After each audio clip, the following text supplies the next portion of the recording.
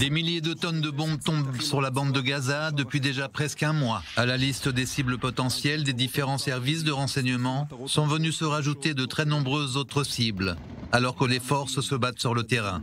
Les nouvelles informations proviennent de ces pièces où le Shabak, le service des renseignements israélien, interroge les terroristes du Hamas ayant participé au massacre du 7 octobre.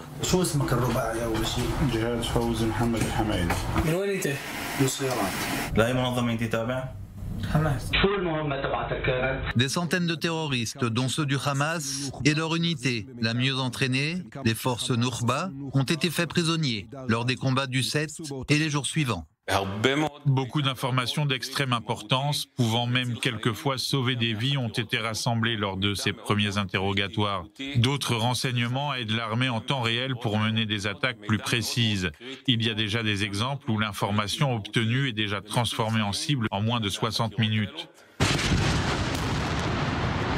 Précision importante, toutes les informations présentes dans ce reportage ont passé la censure militaire afin de ne rien dévoiler d'important avant d'être diffusées.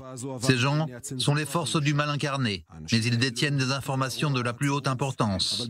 Dès qu'ils ont été arrêtés, commence une véritable course contre la montre.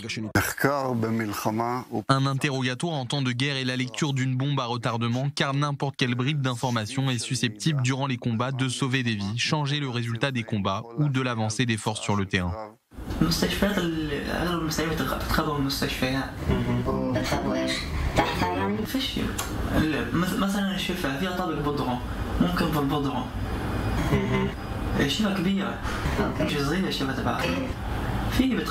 Les agents traitants du Shabak n'ont pas le privilège de mener un interrogatoire en bonne et due forme sur plusieurs jours, voire plusieurs semaines, avec le maximum de temps pour recueillir un maximum d'informations. Le temps est un élément critique qu'il faut traiter dans toute son importance.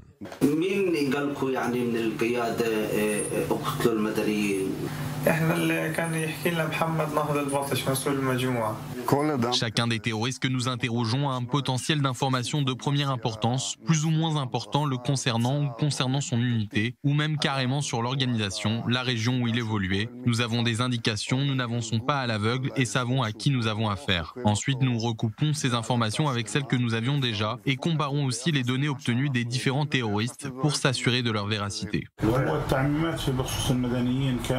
هو التعميمات في بخصوص المدنيين كانت اللي هو يعني قتل الرجال آه، الأسر أسر اللي هو النساء والمسنين والأطفال C'est là que l'agent doit faire appel à tous ses dons d'agents de renseignement, car ils sont face à des gens qui encore quelques heures avant ont tué, égorgé, violé et brûlé femmes et enfants, morts ou encore vivants. C'est là qu'il faut les mettre sous pression et les faire mentalement craquer. Un autre problème auquel les agents du Shabak sont confrontés est que nous ne connaissons pas les gens ni ne savons qui ils sont. Beaucoup savent aussi rester dissimulés ou usurper des identités. Certains ont directement parlé sans même avoir eu besoin d'être menacés.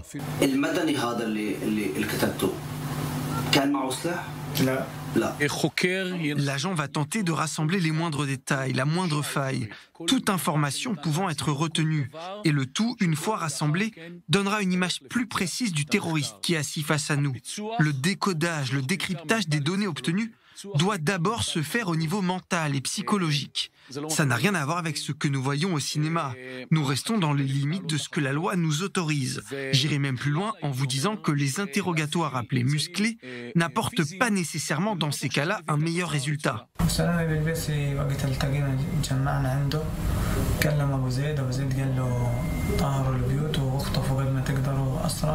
Il est clair qu'aucun ne dit ce qu'il sait de son plein gré. Il faut s'en rappeler. Dans le monde du renseignement, il y a un proverbe qui dit que si le citron était intelligent, il donnerait tout son jus sans se faire presser. Lors d'interrogatoire, s'il arrive qu'il faille presser sur le citron, c'est beaucoup plus qu'une obligation.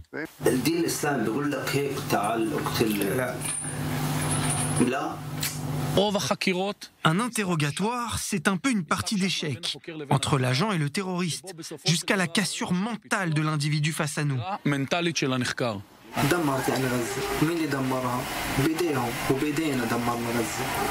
Lors d'un interrogatoire, il y a beaucoup de manipulations, beaucoup d'aspects psychologiques aussi. Les agents sont spécialisés dans la lecture du langage corporel et savent lire et traduire chaque réaction de l'individu interrogé.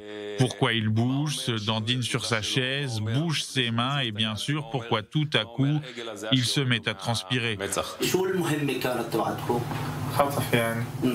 شو المهمة كانت تبعتكم؟ خطف يعني مم. زي كده خطف وأسر من كفر عزة؟ Il est primordial que les terroristes ne puissent à aucun moment coordonner leurs versions et leurs déclarations. C'est pour cette raison qu'ils restent isolés les uns des autres jusqu'à ce que l'agent traitant pense qu'il en a tiré le maximum.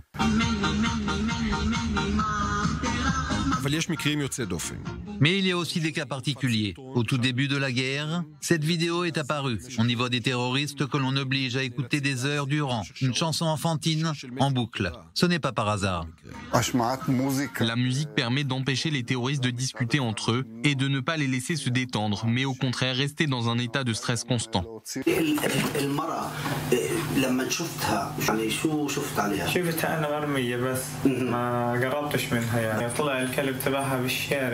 ال- ال- المرأة إيه، لما شفتها يعني شو شفت عليها؟ شفتها انا مرمية بس ما قربتش منها يعني طلع الكلب تبعها بالشارع طخيته انا بعدها كان في واحد بالجنينة المدني هذا اللي اللي اللي كتبته كان معه سلاح؟ لا لا On ne peut pas occulter le fait que l'agent des renseignements a lui aussi vu et vécu quelques heures ou quelques jours avant ces horreurs sur lesquelles il enquête.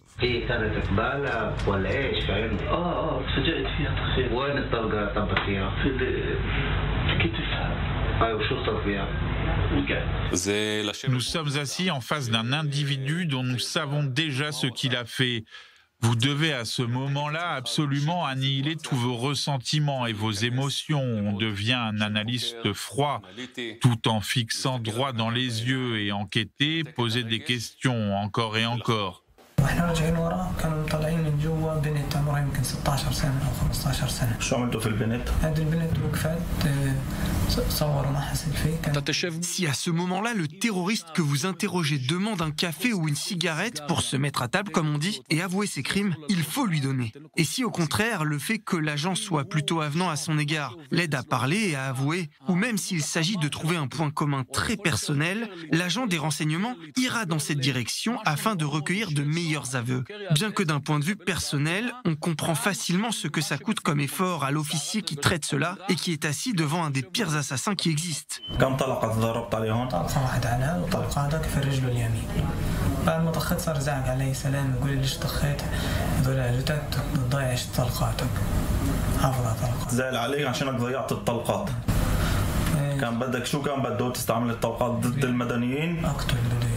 Grâce à ces agents du Shabak et des autres services de renseignement, seront rassemblées de très nombreuses informations de la plus haute importance, renseignements psychologiques ou techniques, qui nous donneront l'avantage et nous permettront de gagner la guerre.